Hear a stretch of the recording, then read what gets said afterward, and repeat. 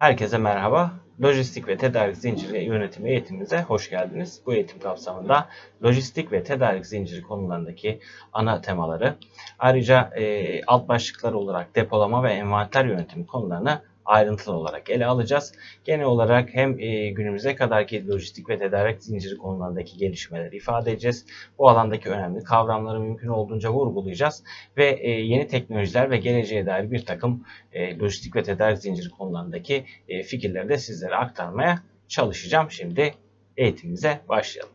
Lojistik ve tedarik zinciri yönetiminin her ikisi de büyük ölçüde risk yönetimine dayanır ürün ve hizmet akışını engelleyebilecek risklerin tespit edilmesi, değerlendirilmesi ve en aza indirilmesini gerektirir.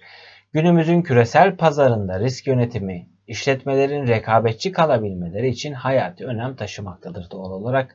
Lojistik ve tedarik zinciri yönetiminde risk yönetiminin önemi ortaya çıkabilecek çeşitli risk türleri ve bu riskleri yönetme yöntemlerini e, bu kısımda ele almaya çalışacağız merkezi olmayan depolama sistemlerinde birden fazla lokasyonda lokal depolar bulunmaktadır.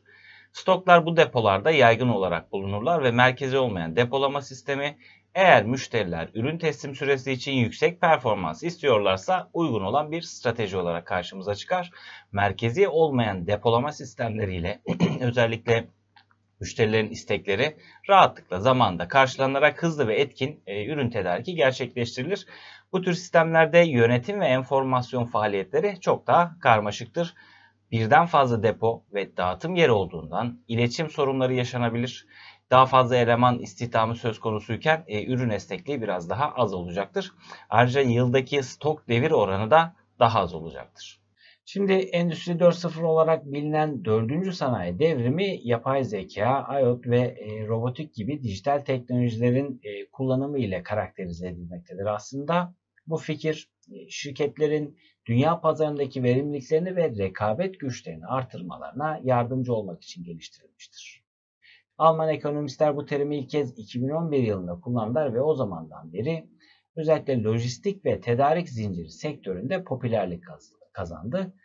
Akıllı fabrikalar veya e, dijital ağlarla birbirine bağlı fabrikalar kavramı Endüstri 4.0'ın temelini oluşturmaktadır.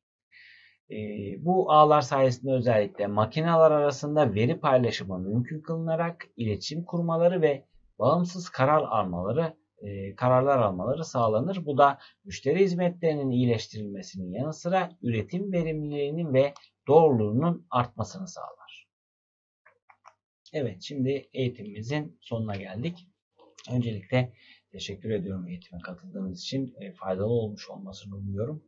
Lojistik ve tedarik e, zinciri yönetimi e, kavramı gördüğünüz gibi pek çok farklı değişken e, kavram ve aktörü ve teknolojiyi içermekte. Dolayısıyla zaten sürekli değişen dönüşen teknoloji odaklı olarak sürekli değişen dönüşen e, dünyada e, yine buna bağlı olarak çok hızlı gelişim gösteren ve özellikle toplumların, şirketlerin, büyük işlerin başarılabilmesi için gerekli olan malların, ürünlerin, hizmetlerin bir yerden bir yere aktarılması, doğru imkanların ve araçların e, doğru zamanlarda doğru yerlerde bulundurulması e, dolayısıyla büyük faydalar sağlayan bir alan.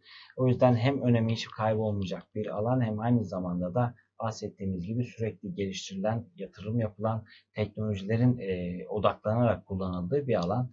Dolayısıyla bu alanla ilgili ilişkili faaliyet yürütüyorsanız e, mesleki olarak veya eğitim olarak veya bu alanda kendinizi geliştirmek istiyorsanız burada bahsettiğimiz temel, temel konular size belli bir seviyeye kadar e, fayda sağlamıştır diye düşünüyorum. Ama tabii ki e, öğrenmenin sınırı yok. E, dolayısıyla buradan aldığınız e, bilgiler, kavramlar ve ipuçlarıyla eğitim sürecinize devam etmenizi, farklı kaynaklardan yararlanmanızı tavsiye ediyorum. Hepinize tekrar katılmanız için teşekkür ederim. Başarılar dilerim.